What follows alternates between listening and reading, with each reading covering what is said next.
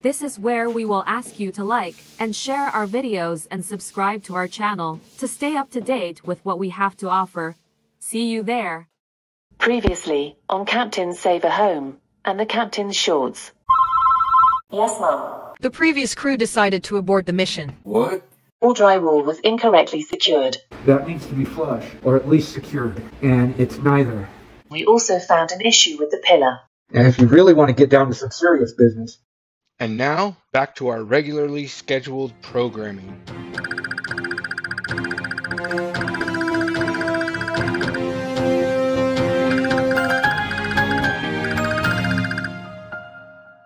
We should just consider this video pint-sized.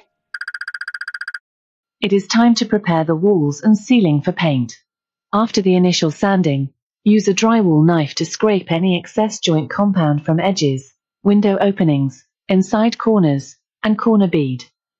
Fill any divots, low areas, gouges, and cracks on wall surfaces, inside corners and along the corner bead locations, with taping and topping compound and let dry. Chances are you won't need to be using your mesh sander at this point. More than likely what is left over is going to be just little hairs here and there from your touch-ups, and that could be taken care of with your sanding sponge.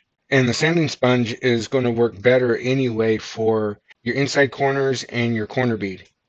It may be possible to proceed simply with a wet sponge, wiping any uneven areas down without the need for sanding. This will also remove any residual dust that may be on the walls and ceiling, which will complete the next step as well. With areas such as inside corners and window openings, it may be easier to remove any residual dust using a vacuum with a hose attachment before using the wet sponge along the remainder of their surfaces.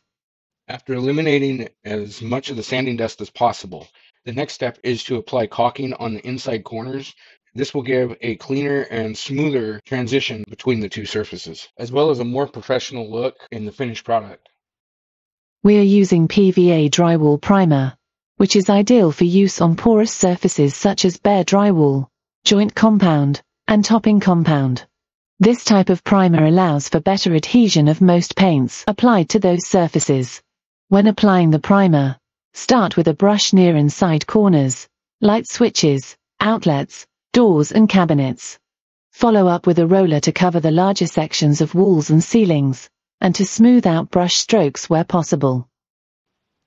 If using an airless spray gun, adding a little bit water to thin out the paint is going to be beneficial in allowing the flow of paint through the sprayer and through the spray tip. And depending on what type of material you're going to be using, it's going to be important to choose the right tip for that application. But regardless of the material that you're going to be using, the technique is still the same. The tip itself should be no more than about 12 to 14 inches from the surface. Each pass should be smooth and consistent in speed and should overlap the previous pass.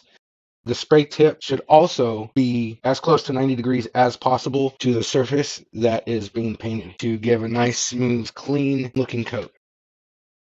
Most people will not have access to a paint sprayer.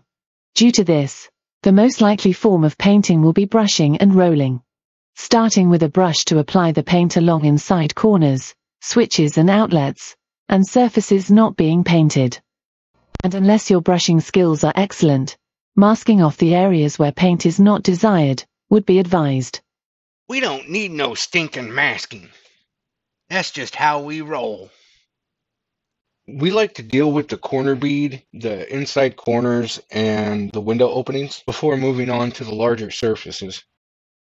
Add paint to the roller and remove any excess material by rolling back and forth against the surface of the tray or metal bucket grid before applying to the walls. Use a W pattern while applying, overlapping each pass for the best results.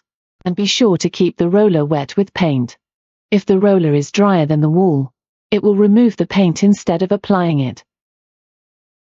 When applying paint to flat surfaces, it's usually suggested that you use either a sponge roller or a roller with no more than a 3 8 inch nap However, we've realized that that's usually not enough to get a sufficient amount of coverage. So we end up using at least a half inch nap when we roll. Usually a half inch nap is more prone to fill in textured walls, but we like to use them to give a little bit better coverage for one. And for two, the half inch nap does give a bit of a subtle texture to the wall. So it gives the wall a little bit more dimension than just plain wall.